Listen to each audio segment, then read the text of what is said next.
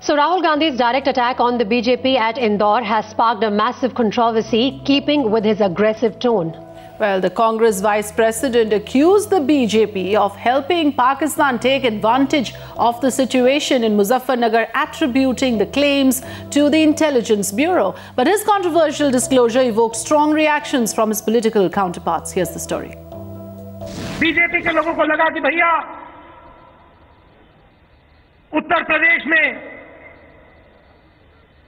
बिना हिंदू और मुस्लिम की लड़ाई की हमारी बात नहीं बनेगी तो लगा दी आग लगा दी ठीक है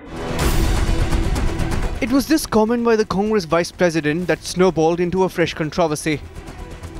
Instead of cementing the communal harmony among the people, people are trying to divide it. Mr. Modi has not even referred once about the Muzaffarnagar, while Mr. Rahul Gandhi is making these kind of remarks. To me personally, it is hurting. From an emotional pitch in Rajasthan to an aggressive full frontal attack in Madhya Pradesh, the Gandhi sign spared none, not even Pakistan. ऐसे दस पंद्रह लड़के हैं मुसलमान लड़के हैं जिनके भाई बहनों को मारा गया है और पाकिस्तान से लोग उनसे बात करना शुरू कर रहे हैं पाकिस्तान की इंटेलिजेंस एजेंसी के लोग उन लड़कों से बात करना शुरू कर रहे हैं और मैं उन बच्चों से बात कर रहा हूँ उनको कह रहा हूँ इनकी बातों में मत आओ आग लगा दी आग बुझाएगा कौन Rahul Gandhi's newfound stance of targeting BJP over Muzaffarnagar sparking a full-fledged political fight.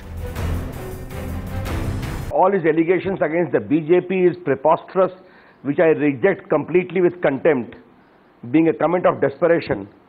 I think Mr. Rahul Gandhi has been utterly irresponsible, to say the least. His controversial disclosure that an intelligence bureau officer spoke to him about ISI's plans to gain inroads in Muzaffarnagar, raising serious questions from other political parties as well.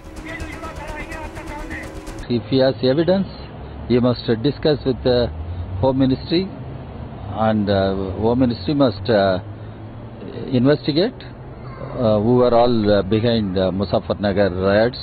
Rahul ji से मैं कहूँगा कि दिल्ली की सरकार आपकी सरकार श्वेत पत्र जारी करें कि मुजफ्फरनगर दंगे के बाद कौन कौन मुसलमान ने आईएसआई से संपर्क किया कौन कौन मुसलमान पाकिस्तान के संपर्क में है जिससे इस देश को पता लगे कि सत्यता कितनी है Rahul Gandhi's controversial comments has sparked off an all-out political fight.